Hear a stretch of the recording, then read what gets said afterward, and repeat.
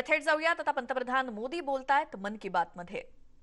साथियों, बीते दिनों इस संकट से निपटने के लिए मेरी अलग अलग सेक्टर्स के एक्सपर्ट्स के साथ, विशेषज्ञों के साथ लंबी चर्चा हुई है। हमारी फार्मा इंडस्ट्री के लोग हों वैक्सीन मैन्युफैक्चरर्स हों ऑक्सीजन के प्रोडक्शन से जुड़े लोग हों, या फिर मेडिकल फ़ील्ड के जानकार, उन्होंने अपने महत्वपूर्ण सुझाव सरकार को दिए हैं। इस समय हमें इस लड़ाई को जीतने के लिए एक्सपर्ट्स और वैज्ञानिक सलाह को प्राथमिकता देनी है।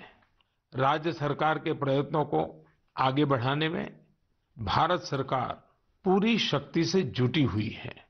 राज्य सरकारें भी अपना दायित्व निभाने की पूरी कोशिश कर रही हैं। साथियों, कोरोना के खिलाफ इस समय बहुत बड़ी लड़ाई देश के डॉक्टर और हेल्थ वर्कर्स लड़ रहे हैं। पिछले एक साल में उन्हें इस बीमारी को लेकर हर तरह के अनुभव भी हुए हैं। हमारे साथ इस समय मुंबई से प्रसिद्ध डॉक्टर शशांक जोशी जी जुड़ रहे हैं।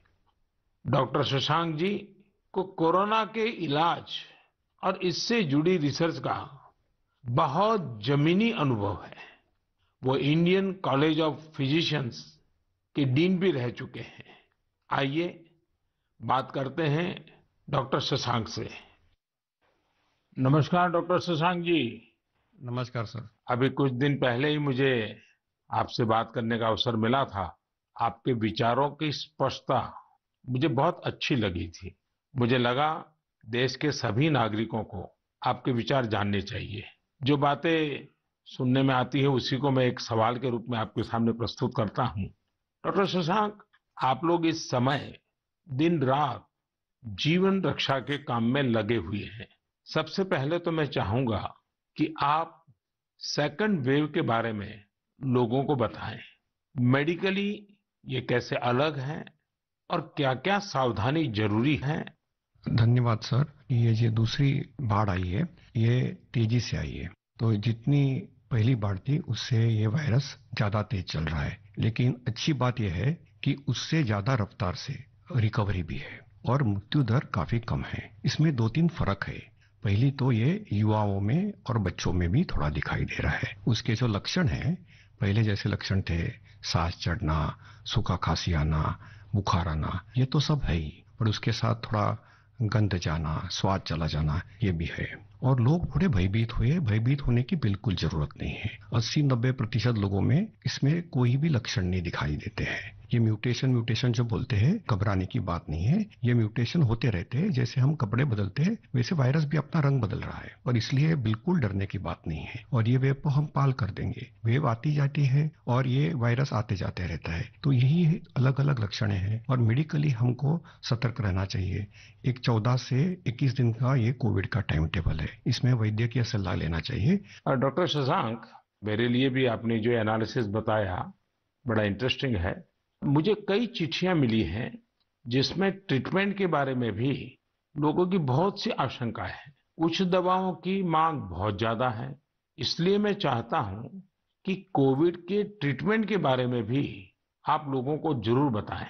हाँ सर क्लिनिकल ट्रीटमेंट लोग बहुत देरी से चालू करते हैं और अपने आप बीमारी से दब जाएँगी, ये भरोसे पे रहते हैं और मोबाइल पे आने वाली बातों पे भरोसा रखते हैं। और अगर सरकारी दी हुई सूचना का पालन करे तो ये कठिनाई का सामना नहीं आता है। तो कोविड में जो ट्रीटमेंट क्लिनिकल प्रोटोकॉल है, उसमें तीन प्रकार की तीव्रता है। हल्का या माइल्ड कोविड, मध्यम या मॉडरेट कोविड और तीव्र कोविड, जो सीवियर कोविड बोलते हैं, इसके लिए है। तो जो हल्का कोविड है उसके लिए तो हम ऑक्सीजन का मॉनिटरिंग करते हैं पल्स का मॉनिटरिंग करते हैं, बुखार का मॉनिटरिंग करते हैं। बुखार बढ़ जाता है तो कभी कभी पैरासीटामोल जैसी दवाई का इस्तेमाल करते हैं और अपने डॉक्टर से संपर्क करना चाहिए। जो मॉडरेट कोविड होता है, मध्यम कोविड होता है या तीव्र कोविड होता है तो वैद्य की अपने डॉक्टर के साथ संपर्क करना बहुत ज़रूरी है। सही और सस्ती दवाई अवेलेबल है, जिसमें स्टीरोइड जो है ये जान बचा सकती है। जो इनहेलर्स दे सकते हैं हम टैबलेट दे सकते हैं हम, और उसके साथ ही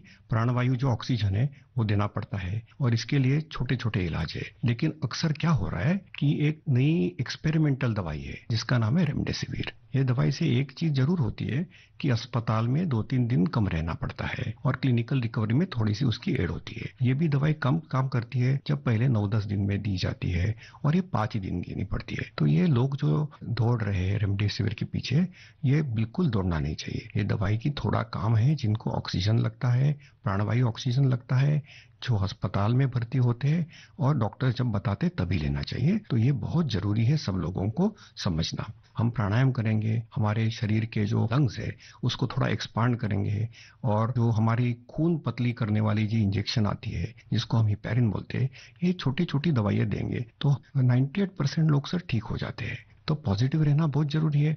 ट्रीटमेंट प्रोटोकॉल वैद्य के सिले से लेना बहुत ज़रूरी है और ये जो महँगी महँगी दवाई है, उसके पीछे दौड़ने की कोई ज़रूरत नहीं है, सर। अपने पास अच्छे इलाज चालू है, प्राणवायु ऑक्सीजन है, वेंटिलेटर की भी सुविधा है, सब कुछ है सर। और कभी कभी ये दवाई यदि मिल जाती है तो योग्य लोगों में ही देनी चाहिए। तो इसके लिए बहुत भ्रम पैदा हुआ है और इसलिए ये स्पष्टीकरण देना चाहता हूँ सर कि अपने पास वर्ल्ड की सबसे बेस्ट ट्रीटमेंट अवेलेबल है। आप देखेंगे कि भारत में सबसे अच्छा रिकवरी रेट है। आप यदि कंपेयर करेंगे यूरोप के लिए, अमेरिका, वहीं से भी हमारे यहाँ के ट्रीटमेंट प्रोटोकॉल से मरीज़ ठीक हो रहे सर। डॉक्टर शशांक आपका बहुत बहुत धन्यवाद। डॉक्टर शशांक ने जो जानकारियाँ हमें दी, वो बहुत ज़रूरी है और हम सबके काम आएगी। साथियों, मैं आप सबसे आग्रह करता हूँ, आपको अगर कोई भी जानकारी चाहिए हो, कोई और आशंका हो तो सही सोर्स से ही जानकारी लें। आपके जो फैमिली डॉक्टर हो, आसपास के जो डॉक्टर्स हो, आप उनसे, फ़ोन से संपर्क करके सलाह लीजिए। मैं देख रहा हूँ कि हमारे बहुत से डॉक्टर खुद भी ये ज़िम्मेदारी उठा रहे हैं। कई डॉक्टर्स सोशल मीडिया के ज़रिए लोगों को जानकारी दे रहे हैं, फ़ोन पर, व्हाट्सएप पर भी काउंसलिंग कर रहे हैं। कई हॉस्पिटल की वेबसाइटें हैं जहाँ जानकारियाँ भी उपलब्ध हैं और वहाँ आप डॉक्टर से परामर्श भी ले सकते हैं। ये बहुत सराहनीय है। मेरे साथ श्रीनगर से डॉक्टर नावीद नजीर शाह जुड़ रहे हैं। डॉक्टर नावीद श्रीनगर के गवर्नमेंट मेडिकल कॉलेज में प्रोफेसर हैं। नावीद जी अपनी देखरेख में अनेकों कोरोना पेशेंट्स को ठीक कर चुके हैं और रमज़ान के इस पवित्र माह में डॉक्टर नावीद अपना कार्य भी निभा रहे हैं और उन्होंने हमसे बातचीत के लिए समय भी निकाला है। आइए उन्हीं से बात करते हैं। नावीद जी, नमस्कार। नमस्कार सर। डॉक्टर नावीद मन की बात के हमारे श्रोताओं ने इस मुश्किल समय में पैनिक मैनेजमेंट का सवाल उठाया है। आप अपने अनुभव से उन्हें क्या जवाब देंगे?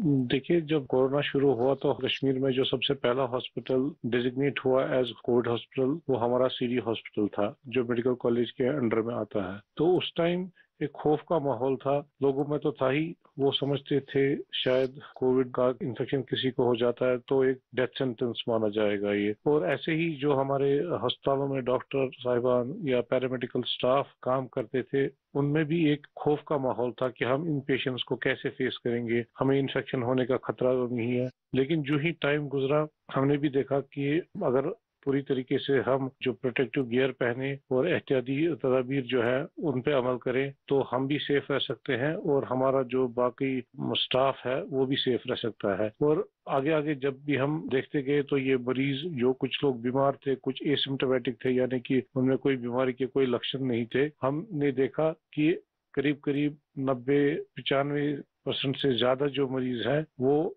खुद विदाउट एनी मेडिकेशन भी ठीक हो जाते हैं। तो वक्त जैसे गुजरता गया तो लोगों में जो कोरोना का एक डर था, वो बहुत कम हो गया। आज की बात जो हम ये सेकेंड वेव जो इस टाइम हमारी आई है इस कोरोना में, इस टाइम भी हमें पैनिक होने की ज़रूरत नहीं है। इस मौके पे भी हम अगर जो प्रोटेक्टिव मेजर्स हैं, जो एस है, अगर उन पे हम अमल करेंगे, जैसे मास्क पहनना हैंड सैनिटाइजर का यूज़ करना, इसके अलावा फ़िज़िकल डिस्टेंस मेंटेन करना या सोशल गैदरिंग्स हम अवॉइड करें तो हम अपना रोज़मर्रा का काम भी बखूबी निभा सकते हैं और इस बीमारी से प्रोटेक्शन भी पा सकते हैं। डॉक्टर नावीद, वैक्सीन को लेकर भी लोगों के कई सारे सवाल हैं।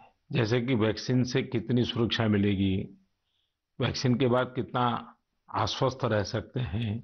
आप कुछ बात इसमें बताएँ तो श्रोताओं को बहुत लाभ होगा।